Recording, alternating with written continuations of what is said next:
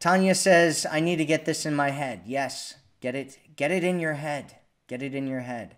Think it over and over again. Spend time feeling it and thinking about it and repeating it over and over.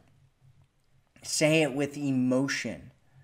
Say, I am worth more than that. I am worth more than that. And really feel it. Feel what it's like to be worth more than that and what it would feel like if you were if you really did believe that and you'll start to believe it over time.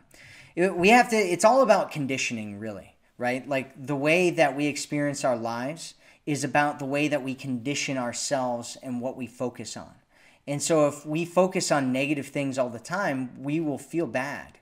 And if we focus on positive things, if we focus on the things that we want, if we focus on thinking of ourselves and changing our identity and believing that we're blessed and that we're sacred and that we're powerful, and, and really getting into that and spending time and conditioning our mind to think that way, we'll start thinking that way and start feeling that.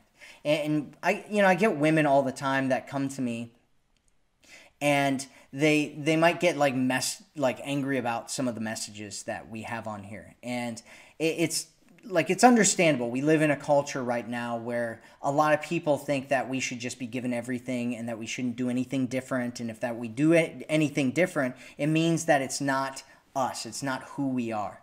And i disagree with that.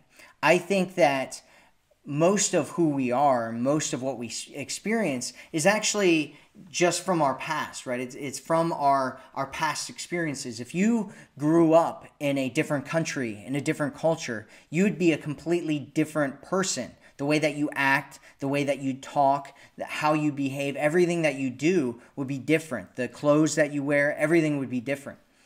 And it's and so so the point is is that it's not about the things that you do or any of that kind of stuff because those can change, right? Like if you if you know when you were born, you didn't know how to do anything.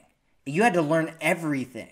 You had to learn how to walk, right? So is is walking not who you are, right? Like that doesn't make any sense. So learning relationship skills doesn't mean that you're trying to be someone that you're not.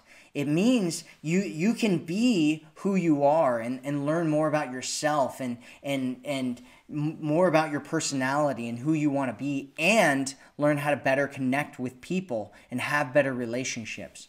All right, I'm going off on a tangent here. Let's let's see what other people have to say about this.